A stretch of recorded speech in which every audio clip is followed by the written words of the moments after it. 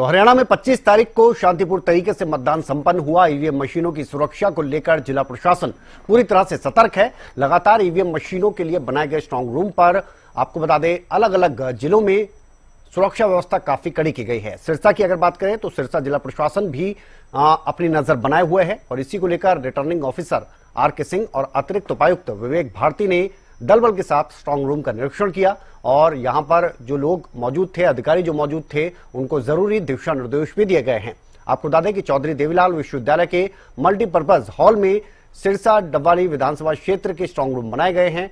वहीं आपको बता दें, पोस्टल बैलेट पेपर की भी गणना होगी।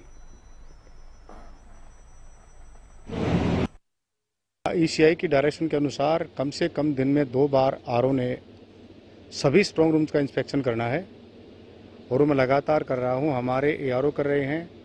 और इस सभी स्ट्रॉन्ग रूम्स के लिए हमने एक नोडल अफसर हमारे ज़िले के एडीसी श्री विवेक भारती जी को भी बना दिया है। हम रेगुलर उसमें हैं टच में हैं प्लस हमने सभी पाँच के पाँच स्ट्रॉन्ग रूम में बाहर एलसीडी लगा दी है। किसी भी पार्टी के व्यक्ति, खासकर जो जिन्होंने परमिशन ली है, उनको परमिशन दे गई है और वो ट्वेंटी फोर इंटू सेवन यहाँ देख सकते हैं। प्लस उनके लिए हमने जो बेसिक फैसिलिटीज़ हैं, यानी कि टॉयलेट पानी वगैरह हम अवेलेबल है जो कि यूनिवर्सिटी कैंपस के अंदर, जो कि माननीय ई की गाइडेंस के